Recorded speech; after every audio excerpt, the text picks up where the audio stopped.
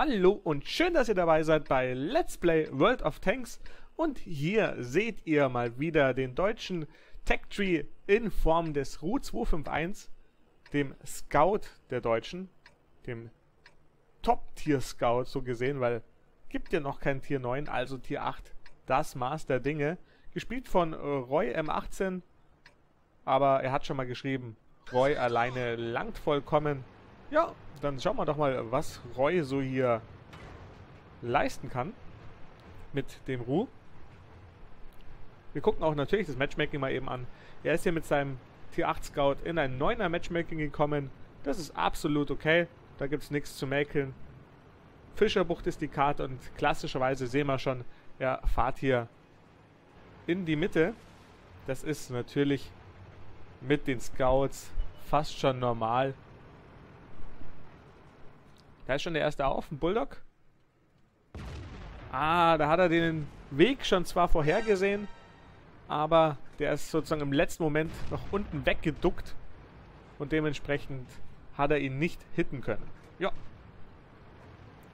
Was schon mal gut ist, Gegner hat keine Arti. Keine Arti macht es einem deutlich leichter. Und hier der M103. Den ersten Schuss hat er daneben gesammelt, der zweite funktioniert dann aber. Na, jetzt dotzt er da an den T29. Wichtig ist nicht zu lange an einem Punkt hier stehen bleiben, weil sonst endet es ganz gerne mal darin, dass man ordentlich eine auf die Mütze bekommt.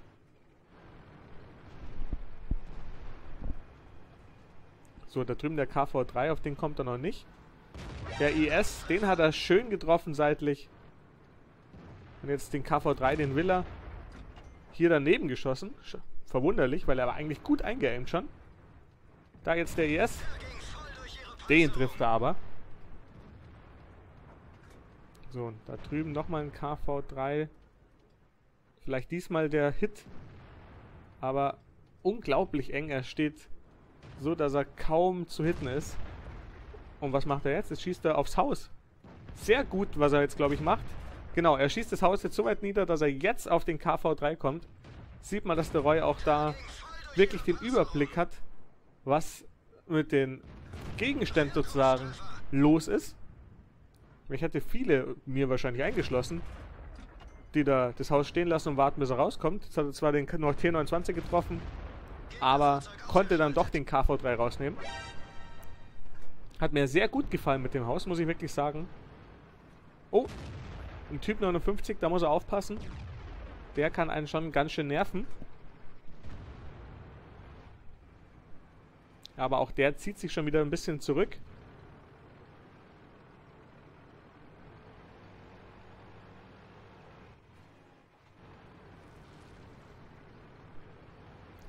Die rechte Seite ist ganz stark und gut gepusht worden. Da sieht man ganz viele, die da drüben schon durch sind. Die linke Seite, die 1er-2er Linie, da ist der Gegner aber gut durchgekommen. So, was ist jetzt mit dem M103? Diesmal trifft er ihn auch wieder. Oh, jetzt kriegt er von vorne Schaden vom AMX 12T. Konnte zwar nochmal den M103 treffen, aber jetzt nervt ihn der AMX. Über 400 HP oder über 500. Ne, 426. Ganz genau hat der AMX ihn gerade gekostet. Gar nicht so wenig in Anbetracht für einen Tier 6 Scout. So, den IS-3. Ah, ist natürlich nicht so leicht zu treffen, gerade von vorne nicht.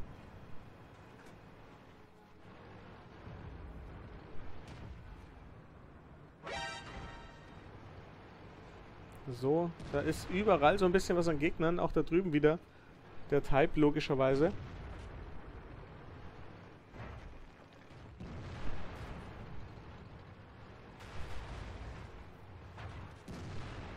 So, jetzt will er den M103 da umfahren, beziehungsweise zumindest mal hitten. Konnte ihn auch treffen, aber ohne Schaden zu verrichten. Auch jetzt auf den da hinten, auf den Oho. Kein Damage. Vielleicht aber nun auf den...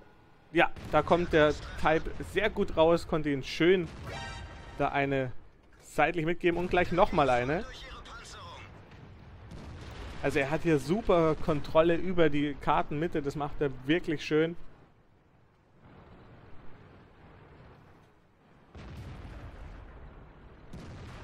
Und jetzt der M103. Ah, jetzt fahrt er weg. Ah, oh, schöner Luckshot. Den muss man ehrlicherweise gestehen, kann man so nicht machen. Nicht einfach mal so berechnend. Jetzt steht der Gegner im Cap. Ja, das kann ja wahrscheinlich nur der IS-3, der T10 oder der T54 sein. Zwei sind im Cap, jetzt muss er zurück und das macht er auch.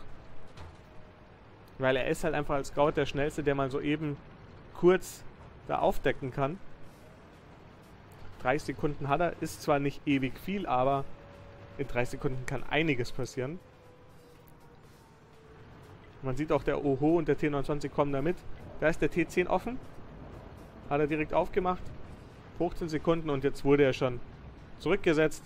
Da ist jetzt der T54 offen und der ES3 sowie der T10 alle jetzt wirklich zu sehen. Auto-Aim. Aber rumgefahren. So, jetzt kann er auch versuchen, mal drauf zu wirken. Auto-Aim, ne, diesmal nicht. Oh, da fangt er sich ein, aber konnte den T54 E1 perfekt zurücksetzen. Auch nochmal einen versuchen. Nur nochmal so einen darf er sich halt auch nicht mehr fangen, weil danach ist er halt Geschichte.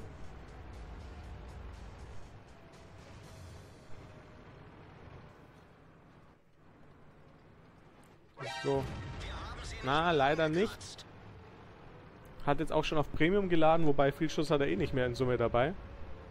So, jetzt ist aber er rausgenommen worden. Jetzt stehen nur noch der T54 drin und der IS-3. Und jetzt dauert es auch deutlich länger schon mal.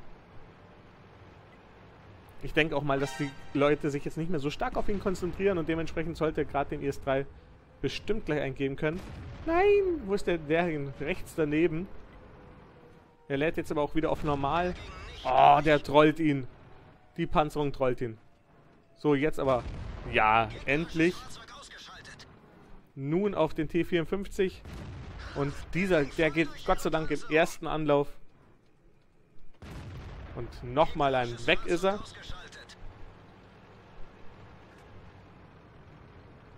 Und jetzt zurück Richtung T26 und Oho. Er schreibt da fucking ES3 Armor Man. Ja, die. What good job, guys, defending. Schön, dass er auch sein Team lobt und da animiert dazu. Das sieht man auch immer seltener, muss ich sagen, dass man da auch mal wirklich sagt, okay, das ist gut gelaufen und dementsprechend schön gemacht. So, den Oho jetzt hier diesmal auch wieder. Au, der zündet ihn direkt an und er kann scheinbar nicht löschen, also oder hat sehr lange dafür gebraucht. Also ein Schuss, 507 HP. Der war teuer für den Oho. Jetzt den Super Pershing. Da hat er einen Abpraller leider gehabt. Und der hat auch nicht mehr viele Schuss. Oh, der war dafür schön. Jetzt den Oho nochmal. So, der trifft und jetzt hat er den letzten Schuss. Den sollte er noch ins Ziel bringen. Und dann, ja gut, die HE-Schelle. Vielleicht kann er mit der HE-Schelle noch den Oho rausnehmen, das wäre zu lustig. Und er macht's, er nimmt ihn raus. Ja, sehr fein. Ja, 4505 Schaden. Ordentlich gespottet. Also da muss man mal sagen, da hat er definitiv gut gespielt und er schreibt auch seinem Team out of ammo, out of ammo, need your help. Also von dem her, sein Team weiß auch, okay, unser Rook kann höchstens vielleicht noch aufdecken, aber Schaden macht er keinen mehr. Da kommt der Super Pershing.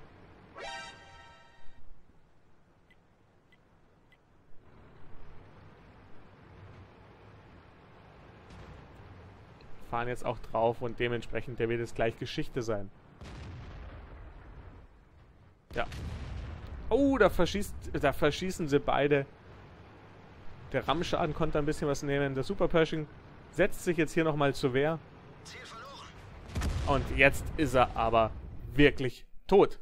Ja, hat der Roy mal wieder, muss ich sagen, gut gespielt und hat mir sehr gut gefallen. Ich hoffe, euch hat es ähnlich gut gefallen. Der Ruh immer wieder einen Blick wert. Würde mich freuen, wenn ihr einen Daumen nach oben oder einen Kommentar gebt. Von dem her vielen Dank, bis zum nächsten Mal. Euer Ekaramba.